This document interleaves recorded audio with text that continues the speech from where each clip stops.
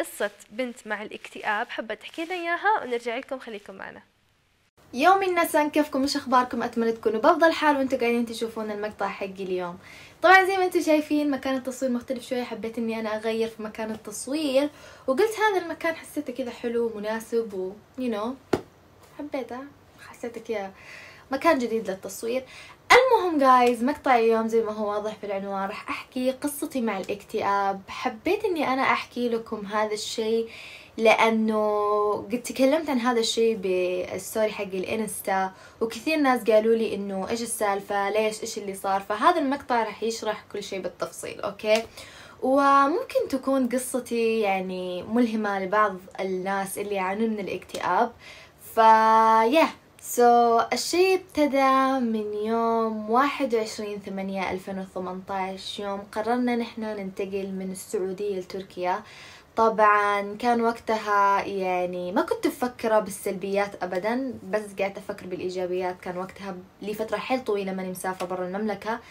ف يعني كنت مرة فرحانة إنه بسافر ومدري إيش وزي كذا وإنه بشوف فاهمين كيف إنه يعني يعني بطلع برا لأنه لي فترة ماني مسافرة وأنا كنت متعودة إني أنا أسافر فاهمين كيف؟ أول ما وصلنا طبعا أنا يعني عارفين okay مبسوطة مرة كيف إنه مبسوطة وسعيدة فاهمين كيف؟ بداية ما ك... ما كان في أي شيء مزعلني لأنه oh my God أخيرا كده دولة جديدة ناس جدد ثقافة جديدة ومدري إيش وزي كذا. بعد تقريبا بأسبوع هو أسبوعين شيء زي كذا تقريبا كان بوقتها بداية الاكتئاب. كان بوقتها كان بوقتها شعور مرة صعب لأنه كنت حرفيا قبل أسبوعين مع إخواني ومع أختي. كنا قاعدين نشوف درامات كورية مع بعض. نطلع الساعة ستة الصبح للسوبر ماركت. عشان نشتري أشياء ومدري إيه والحين أنا حرفيا وحيدة. ما عندي ولا بني آدم. كانوا بس أمي وأبوي اللي معايا وأخواني كلهم في السعودية. حتى أفتكر يوم إنه أخذونا للمطار كانوا بوقتها كلهم قاعدين يصيحوا. فكان هذا الشيء كل ما يجي في خيالي أقعد أصيح أقعد أصيح بشكل ما يمزح. فاهمين كيف؟ فاللهم صل عليك. يا نبي كانت بنت خالتي معاي. وطبعا ما كنا يعني نمون على بعض فما كنت أحس بشي تجاهها يعني ما كنت أحس إنه أوه معاي أحد يهون علي. ما كان حرفيا معايا أي أحد. كنت كل وقت كل كل يوم يوم أكلم أهلي يعني إخواني هناك كنت حرفيا أقعد أصي أوكي جتني صيحة كل ما أكلمهم أقول لهم إنه أنا مرة مشتاقة لكم وزمان وزي كذا وأحس يعني أحس صدق إنه مرة مرة وحشتوني وإنه متى تجون وزي كذا. بس ابتدى الاكتئاب يوم دخلت المدرسة. يوم دخلت المدرسة حرفيا حسيت بوقتها بشعور جدا مختلف. حسيت نفسي كذا اللي مرة مختلفة عن البشر. حسيت إني أنا الصدق ما أنت من هالمكان. قعدت كذا أطالع ناس جديدة ثقافة جديدة لغة جديدة. أنا قاعدة زي الأطرش بالزفة ماني فاهمة ولا حرف. كلها لغة تركية يعني لغة جديدة علي وأنا ماني دارستها. وبشكل عام للأمانة يعني أنا ما تجذبني اللغة التركية للأمانة. المهم فبوقتها دخلت كذا على الصف.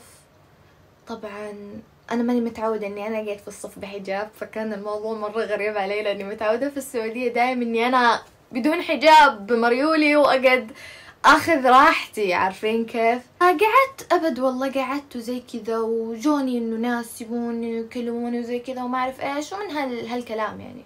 كلمتهم ما في كان تقريبا إلا ثنتين اللي هم يعني أماندا وسيدرا. كانوا هم الشخصين الوحيدين اللي ارتحت لهم. طبعا بغض النظر عن بنت خالتي. كانوا هم الشخصين الوحيد اللي ارتحت لهم في الصف. وحسيت إنهم فعلا يعني لطيفين. ففي بداية الموضوع طبعا يعني.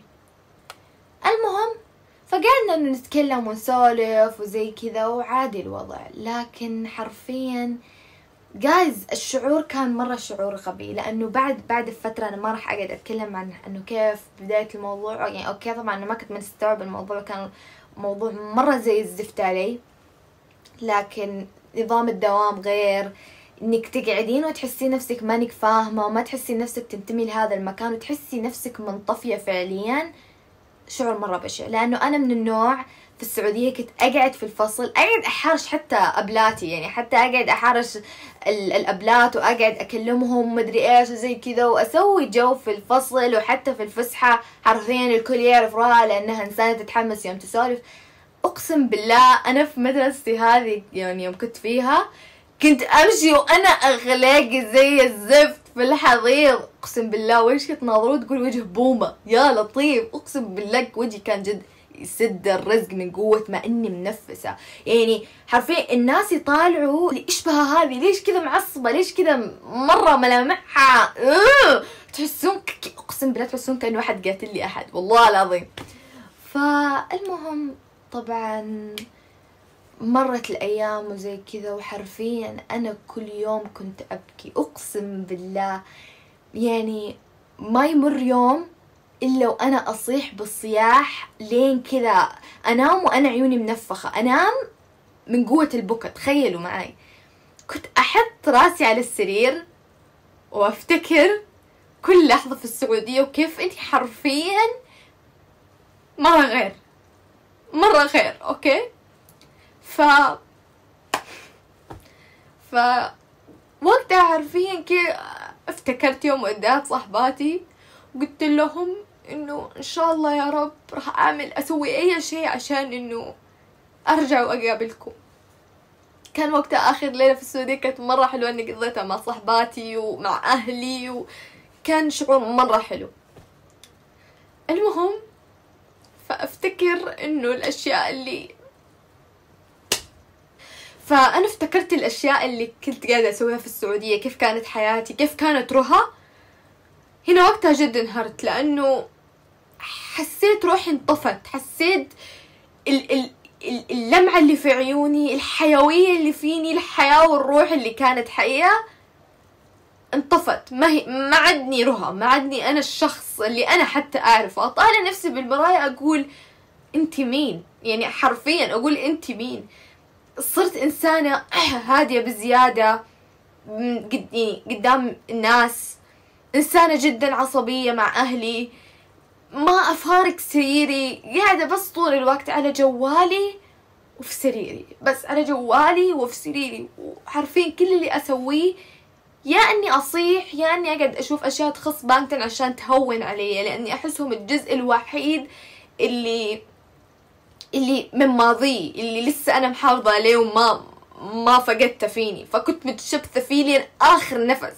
ما تعرفون إيش كثر بانتن ساعدوني في لحظة اكتئابي وخصوصا جنكوك. أقسم بالله يعني ما ما حد يمدي يتخيل. من جد. كنت بوقتها عانيت من أشياء كثيرة إني أنا كنت دائما متوترة كنت دائما معصبة كان دائما عندي قلق و كنت فقدت الشهية فقدت الشهية وخسرت وزن كثير.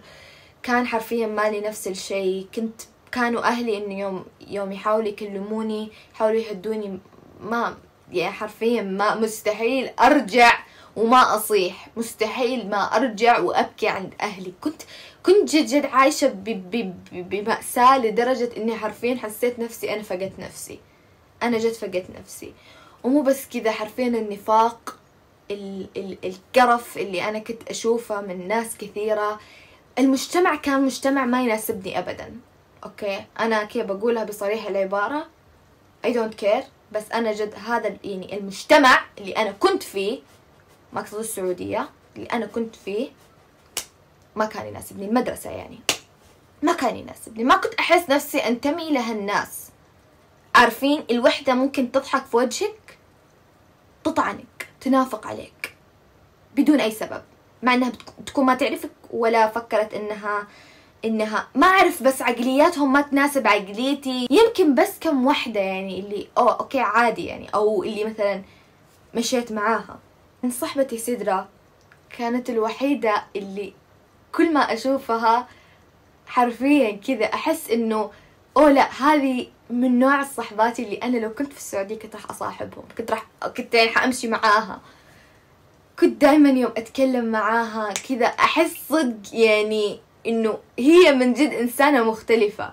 إنسانة فعلا روحي تشبه روحها. تعرفون يوم تقعدون مع أحد كذا تحسون صدق اللي أنا أنتبه لهنا؟ يعني من جد أنا مرة ممتنة لها وأنا مرة مبسوطة إنه نحن صاحبات. يعني لحد الحين يعني هالبنت كل ما لها قاعدة كذا مكانتها تكبر في قلبي وقاعدة تنيل أشياء جدا كثيرة. طبعا بنت خالتي مع الوقت تقربنا حيل وصرنا مرة كلوز لدرجة حرفيا. لو تضايقت بروح أكلمها لو صار لي أي شيء بروح أكلمها لو احتجت أحد أروح أكلمها. فكانت دايم جنبي وكانت دايما واقفة معي. حرفيا بنت خالتي الله يسعدها يا رب. بكل مرة أفتكر كل وقفة وقفتها معي مستحيل أنسى لأنه هي عانت نفس المعاناة اللي أنا عانيتها في البداية خصوصا هي ما كان عندها ولا أي بني آدم يعني حتى أنا ما ما كان ما, كنت موجودة أصلا إنه هي لها ست سنين. ف بوقتها حرفيا كان قد إيش إنه الموضوع قاعد يلين علي من طرف بس كمية الضغط اللي كنت أنا معانية منه بطرف حرفيا أنا مهما تكلمت ومهما شرحت أحس ما راح أوصف لكم حجم المعاناة. لأنه أنا كان كان كانت كانت نفسيتي زي الزفت. كان كذا اللي صرت أخاف أكلم أحد أو أتعرف على أحد من قوة ما إني قرفت. جد جد أنا قرفت. تخيلي أنت اليوم تحسين نفسك كذا اللي أنت ما تناسبين هذا المجتمع وما تحسين نفسك إنك أنت أساسا مرتاحة في أي شيء. كانوا أهلي كل ما إيه كل ما حرفيا كل ما أجي من البيت يشوفوني كذا وجهي معفط. معفط يروحون خلاص رها ما اندمج. حتى أيام كنت أتجنب إني أروح للمدرسة بإني أغيب. حتى غياباتي وصلت الدرجة ما هي طبيعية. صدق يعني وصلت الدرجة ما هي طبيعية. حتى أساسا معروفة في الفصل إني أنا أكثر إنسانة كنت أغيب. لإني إنسانة ما ما أقدر أتقبل ما أقدر أتقبل فكرة يعني إني أنا مضطرة إني أنا مجبورة إني أنا أقعد في مكان أنا ماني مرتاحة له. ولا اني مرتاحة مع الناس اللي أنا قاعد قاعدة معاهم. يعني okay صح إنه في ناس مرتاحة معاهم بس بنفس الوقت ولا شيء جنب الناس اللي أنا ما أرتاح معاهم. Bangtan كنت كل ما أسمع لهم كل ما أشوف شيء لهم كان كذا شيء شيء بالنسبة لي زي الراحة جد جد جد. يعني طبعا يعني صدق الحمد لله يعني الحمد والشكر لله إنه هذا كله بفضل رب العالمين.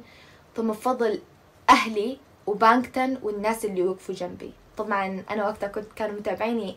في ناس قديمة تفتكر كانوا كانوا وقتها معايا. معايا في فترة يوم أنا كنت مكتبة كنت دايم أكتب جرايد عن مدى مأساوية وضعي حرفيا. بعد فترة آه، أخواني جو وكان هذا حرفيا أجمل شيء صار. لأنه أنه صدق يعني يوم يكون معاكم أحد منكم وفيكم يوم تبكون يوم تبون تفضفضون يعني تلاقون هذا البني آدم يعني قدامكم كأنه قطعة منكم فاهمين كيف؟ كأنه هو يعني كأنه أنتو. كان أجمل شي حصل لي يوم إخواني جو. كنت حاسة حرفيا بمدى الراحة والسعادة ومن وقت ما هم جو قلت لهم إنه أنا ما عاد ما عادني قادرة أستحمل إني أنا أظل في ذاك المكان. ما عادني قادرة أستحمل حرفيا يعني قلت لهم أنا الوضع ما عاد ما عاد يجوز لي ما عاد مهما حاولت إني أنا أتأقلم ما ما أقدر أتأقلم ما ما ماني فيه يعني ما أقدر. فتحوا أهلي بالموضوع وقالوا له قالوا لهم إنه روها ما عاد تبى تدرس في هذه المدرسة. خلاص. قالوا إنه طيب إذا هي ما تبي تدرس في المدرسة فهي وين تبي تدرس بالضبط؟ قلت لهم حاليا يعني طبعا وقفت دراسة لفترة من الزمن لأنه كانوا بوقتها نفسيتي متدمرة نفسيتي زبالة كانت نفسيتي جد جد جد يعني خسرت وزن كثير. كنت بس أبكي وأصيح وكنت إنسانة جدا متوترة وعانيت من أشياء كثيرة. وحرفيا صحتي كانت زبالة كنت بس آكل حلويات بكثرة لدرجة وجهي انعدم بشرتي انعدمت كانت معدومة كان كلها هنا حبوب وهنا وهنا. وجهي انعدم حرفيا كان بوقتها فوقفت لفترة من الزمن بعدت عن الشيء التوكسيك اللي كان قاعد يسمني ويأذيني. بعدين بعد فترة يوم حسيت نفسي إنه خلاص قادرة إني أنا أرجع كملت اونلاين الحمد لله. وبوقتها حرفيا يعني الأشياء هذه المواقف هذه كل ما أتذكرها أفتكر كيف هي قوتني. طبعا أنا ما فقدت الأمل أبدا. كنت دايما أقول رها أنت حيجي يوم يوم. كنت أنا مكتئبة. طبعا في أشياء كثيرة أنا ما ذكرتها إني أحسها شيء شخصي يعني ف كنت دائما أقول لنفسي رها انتي راح يجي يوم وراح تقولي هذا ماضي وهذا هو الشيء اللي قواني. يعني ما تعرفون حرفيا كل ما أتذكر هذه المواقف. ممكن يعني رها اليوم ما راح تكون نفسها هي لو ما مرت بهذه المواقف. يعني ما فقدت الأمل اشتغلت على نفسي وقلت لازم أني أنا أوصل للشيء اللي أباه. دامني حطيت شيء في راسي فأنا راح أقدر أني أنا أطلع من هذا الشيء. راح أقدر أني أنا أحقق طموحاتي وأهدافي. طبعا وقتها آه كلمني أخوي الكبير قال لي رها. قلت له هلا. قال لي ليه ما تصير YouTuber؟ قلت له ما أحس نفسي مستعدة لهذا الشيء مو كأنه تو بدري على هذا الشيء. قال لي ما في شيء بدري على أي شيء. قال لي لا تؤجل عمل اليوم إلى الغد. قال لي جربي وشوفي أنت مانك خسرانة. بالفعل ترددت بالبداية حاولت ألمح بحساب من حساباتي بالبداية وكان كثير من متابعيني يقول لي سوي هذا الشيء من قبل ما يعرفوا. هذا الشيء مرة يليق لك. فبالفعل سويت هذا الشيء. واليوم أنا عندي مية وخمسين ألف مشترك مية وخمسين ألف أخ وأخت أحبهم ويحبوني أدعمهم ويدعموني. حققت بفضل الله أشياء كثيرة أشياء كثيرة وفي أشياء ما راح أحكي عنها لأنها أشياء شخصية. لكن الشيء اللي يكفيني إنه اليوم أهلي فخورين فيني إني أنا اليوم قدرت أثبت نفسي بطريقة أو ما. وقدرت أثبت نفسي بأشياء كثيرة بغض النظر عن اليوتيوب بس كمان بأشياء كثيرة ولله الحمد. ف ملخص الكلام جايز طبعا أنا يعني حبيت كذا أخليه في النهاية. لا تفقد الأمل ولا تيأسوا أبدا. اليوم هذا اللي أنتوا تحلمون فيه واللي تبونه راح يجي. صدقوني هذا الشيء راح يجي اللي أنتوا تبونه. أي شيء أنتوا تطمحون له فتأكدوا أنكم راح تقدروا توصلوا له أنا مؤمنة فيكم وأنا واثقة فيكم. حرفيا واثقة أنكم راح تقدروا تتخطوا كل مشاكلكم وكل الأشياء اللي قاعدة تمروا فيكم. تذكروا إن لكل بداية نهاية مثل ما هذا الشيء ابتدى بيوم راح ينتهي بيوم وإن شاء الله يكون عاجلا غير آجلا فالأشياء اللي أنتوا قاعدين تحسون فيها أنتم مو وحدكم كثير ناس قاعدين يشاركونكم هذا الألم. لا تخافون أنكم تفصحون عنه. كونك شخص مكتئب ما يعني إنك أنت فيك خلل إنه الناس تنظر لك نظرة استحقار. لا الاكتئاب مشكلة مهمة ومشكلة حساسة جدا. وإذا أنتم مكتئبين طلعوا اللي بقلبكم لا تكتموا شيء بقلبكم. حاولوا دائما أنكم تمسكون أي أحد وتفضفضون. لا إذا تبون تفضفضون عندي تكتبون عندي أي شيء اكتبوه اعتبروني مذكرات بالنسبة لكم اعتبروني دفتر بالنسبة لكم اعتبروني أي شيء تبونه. بس لا تكتبون بقلبكم. اعرفوا إن دائما في شخص راح يدعمكم وراح يحبكم وراح وراح تقدروا إنكم أنتوا تطلعوا من هذا الشيء. خلوا عندكم إيمان بنفسكم كونوا واثقين بهذا الشيء ولا تخلوا الصعوبات والمشاكل هذه تتغلب عليكم. صدقوني أنتوا أقوى بكثير من إن المشاكل هذه تتغلب عليكم. صحيح إني أنا مرات أمر بفترات ضغط وأمر بفترات أكره فيها نفسي لهالدرجة ومرات أحس صدق إنه الدنيا قافلة في وجهي لحد الحين بس بالنهاية أعرف إنه هذه مجرد فترات وراح تنتهي. ما في شيء دايم ومستحيل دوام الحال. فحطوا هذا الشيء ببالكم وصحيح إنه أختي اللي لي تقريبا حيصير لي ثلاث سنين مو شايفتها بعيدة عني. ويعني تقريبا هي أكثر شخص قريب مني ولقلبي بس لسه عندي إيمان إنه أنا راح أشوفها إن شاء الله قريب وراح ألتقي فيها وراح ألتقي بعيالها وراح أكلمها وحأحضنها وحنعيد الذكريات اللي قبل. آه شيء ما تعرفوا عني إني أنا شخص جدا متعلق بالماضي وعندي أكثر نقطة حساسة بالنسبة لي هي ماضيي لأنه يحمل ذكريات جدا مهمة بناس جدا مهمة وبأشياء يعني أتمنى والله جد أتمنى لو أقدر أرجع للزمن بنفس عقليتي الحين وأقدر كل لحظة. فنصيحتي لكم قدروا الذكريات آه، عيشوا اللحظة. إذا أنتم تحبون أحد قولوا للشخص اللي قولوا لأهلكم إنكم تحبونهم قولوا لأصحابكم إنكم تحبونهم قولوا قولوا لأي أحد أنتم تحبوه إنكم تحبونه. لا تأجلون هذا الشيء لا تخافون. بالعكس أو تستحون مثلا إنه أوه أقول لأختي إني أنا أحبها. ليش إيش فيها؟ عادي بالعكس. أنا أحب أختي أنا أحب أمي أنا أحب أبوي أنا أحب أخوي أنا أحب إخواني أنا أحب أهلي. وين العيب؟ وين الغلط؟ بالعكس هذا الشيء لازم أنت تكوني فخورة فيه لازم كلنا نكون فخورين فيه. مو غلط بالعكس خلونا نحن كلنا كذا ننشر الحب بين بعض. نكسر الحواجز والصورة النمطية هذه حقت إنه شيء غريب إنه أنا أقول لأختي إني أحبها وإني أهتم لها. بالعكس هذا الشيء لازم نحن نذكر فيه بعضنا لأنه الحب شيء حلو مرة. فزي ما قلت جايز إن شاء الله يا رب كل مشاكلكم تنتهي بيوم من الأيام. وصدقوني الكل حاجة نهاية. خلوكم واثقين بهذا الشيء. وأنا واثقة فيكم وأنا شايفة بإذن الله إنكم كلكم راح تقدروا تحققوا أهدافكم وطموحاتكم. بس أهم شيء جايز لا تضغطوا على نفسكم. والأشياء اللي تتعبكم تسمكم ابعدوا عنها ولو لفترة بسيطة. ولو لفترة بسيطة ابعدوا عنها. مو غلط. أي شيء يضغطك ابعد عنه. لا تخلون شيء فوق نفسكم وفوق صحتكم. أبدا. مهما كان. حطوا نفسكم الأساس بعدين تندرج الأشياء تحت.